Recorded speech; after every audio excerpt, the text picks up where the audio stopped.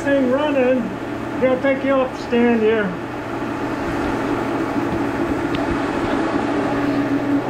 Okay, I've got the vertical head back to get back together. It scared me there. I almost thought I got shot. Um, and I'm running the bearing, the bearings in, and I'm running the thing um, just about 350 RPM.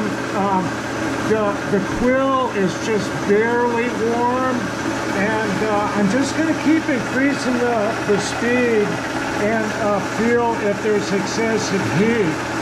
I'll shut this off. Oh. Now, now this um, this quill here, it, it has quill feed. It's pretty cool.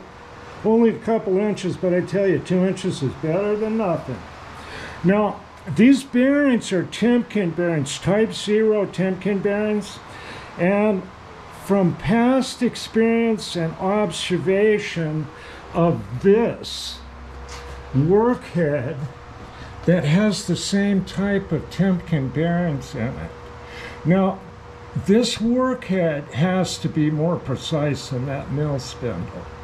And what we found, I found myself and others too, if you take this apart and take the bearings out of it, put it back together, it's not going to run true. And uh, this is something that, ha that has to run really true. Um, you just can't do it. Uh, to get these things as accurate as they are, the factory assembles them in those type zero bearings and then grinds the tapers in the bearings. So, you know, you got to think about that. Or if you don't think about it, maybe it doesn't, uh, doesn't matter. I don't know. But the one thing I can tell you is that um, dividing heads have the same bearings. And uh, this dividing head, I'll, I'll, insert some photos later when I complete this mill. But uh, this thing was solidly rusted in land and water. And what saved it was the, the uh, just the way it was sitting in the junkyard. And, and that the, uh, uh, the whole cavity was pumped full of grease just like this thing. And that's that's what saved his head uh, in, in, in the scrapyard.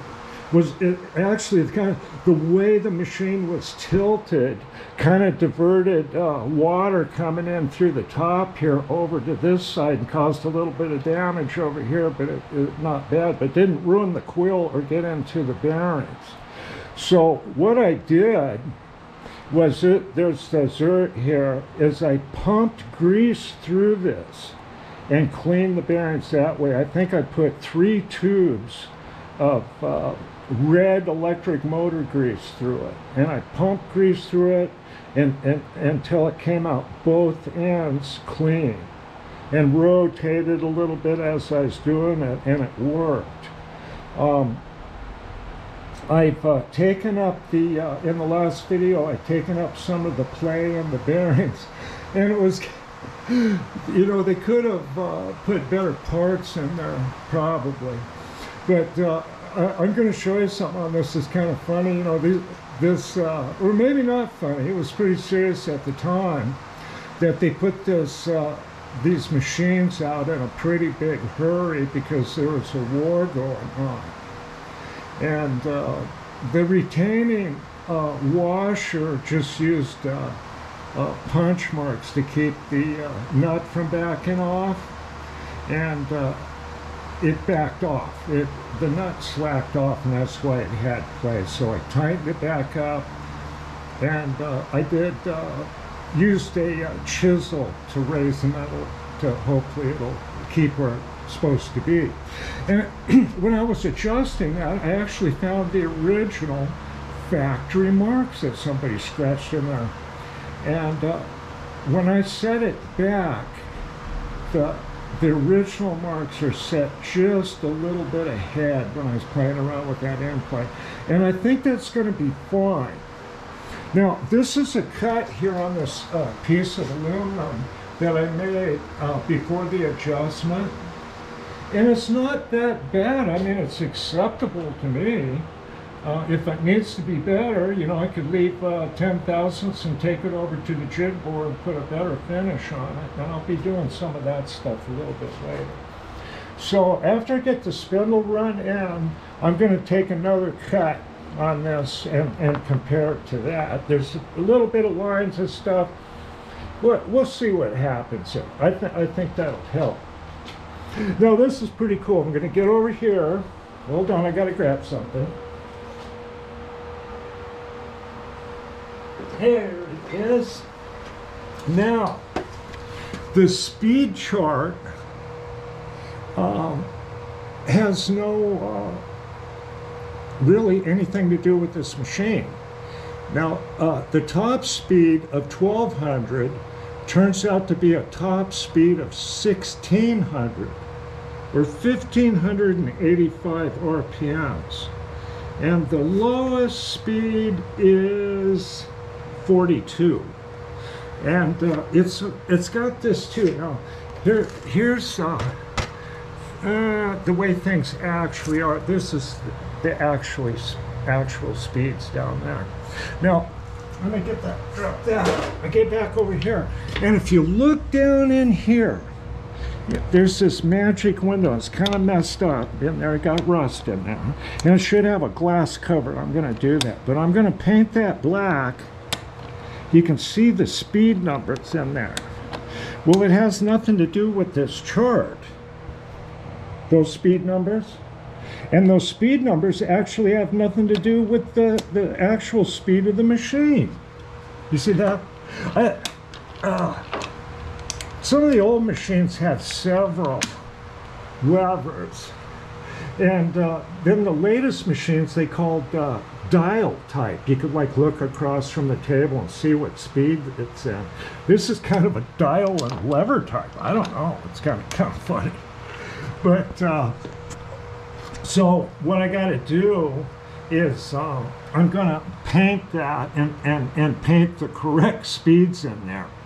And this chart shows that it's an eight speed machine, but they're showing it with a two speed motor. But the machine's actually a 10 speed machine. So they got this out in a hurry. They, they really did. And I think it still conformed to the war board. but, uh, you know, I tell you what, with a top speed of 1600, uh, this is a hot little, hot little unit you know that that's serious speed and uh, it's going to make it a lot more useful on smaller parts for me. I'm, I'm just thrilled about those higher speeds. You know that's great. And it it uh, runs uh, pretty smooth in that top speed. Then the next one's down is 1200 uh, rpms 1212 actually, and it runs exceptionally smooth in that in that gear. So I, am pretty happy with what's going on here.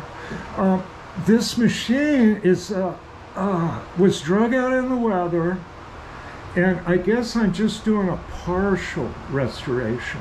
I uh, I just uh, taken care of places where the water really damaged things, and things are real sticky uh, but what I need, to, what needs to happen is just run the machine. And I'm going to finish this upper part here. And uh, this unit here can remain in place and then an adapter put in here and use a regular type A horizontal arbor. And uh, that's one of the things I'm doing here. So adjusting the spindle, and I'll finish that bushing thing and then the whole upper end of this machine is done. I don't have to do anything.